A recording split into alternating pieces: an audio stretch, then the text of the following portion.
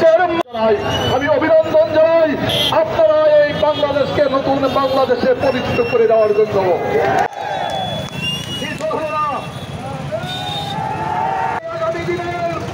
বাংলাদেশ মেরামত করার জন্য কোন নেতা আছে